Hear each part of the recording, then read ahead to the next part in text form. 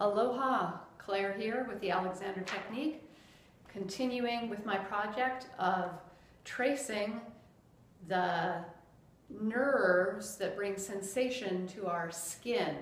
So we're kind of mapping the central nervous system uh, as it as it uh, innervates our the surface of our bodies.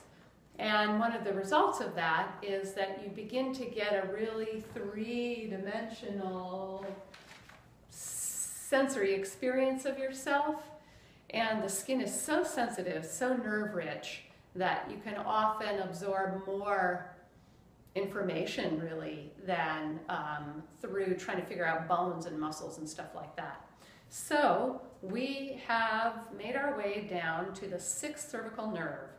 And I'm going to show you a picture here of where this nerve emerges.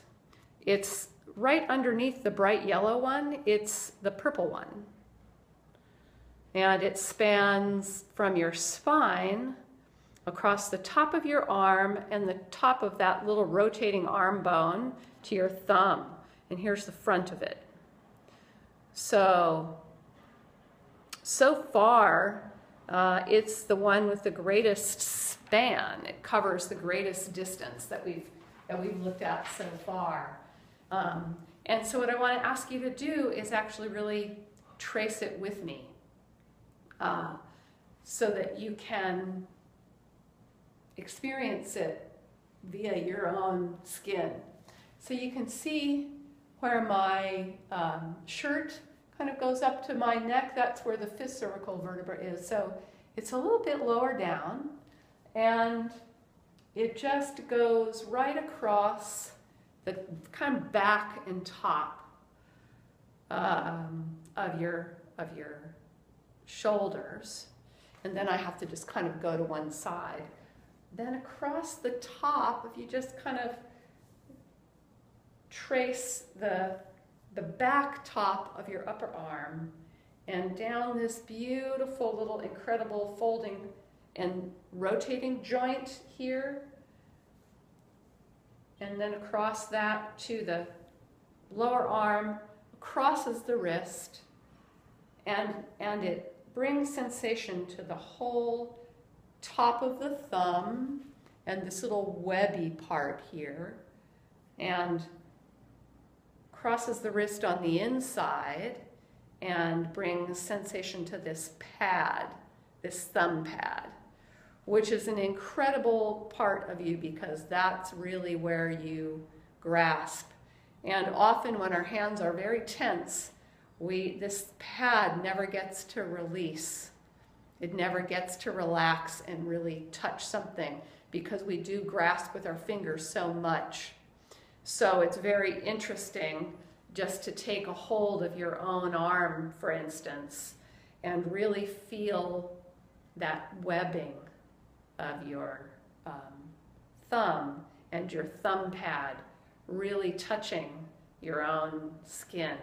And you know when you've got that grasp and nothing can break it. It's very, very powerful. So here is uh, a little, just a little movement experiment. Whoops, sorry, that you can do to um, wake up this nerve pathway. Okay, so I'm going to go back in the space a little bit. And you're just going to lie down on your back. Good. Hope you can see me. so you, you don't have to have your legs bent. I'm just doing that to support my back. And you can feel the support of the floor underneath your entire surface of your skin, which is so sensitive. So you might have a little bit of tension in your shoulder girdle, and if you do, you can just start from here, or you can start from here, and you're just going to softly fold your thumb into your own palm and you'll see that a natural result of that is that your arm starts to rotate. So you're just folding and softly folding all your fingers around your thumb. And you can just see what that rotation is like and whether you can let your shoulder blades kind of slide away from your spine, just in that movement, so you don't have to tense your shoulder blades any more than they already are. And then you're going to just keep folding and folding and tucking until you're kind of embracing your own neck. And sometimes it's nice to just close your eyes. So when you fold like this, what tends to happen if uh, you've got the support you need is that the shoulder blades actually slide away from one another in the back. And it opens up a space for breathing.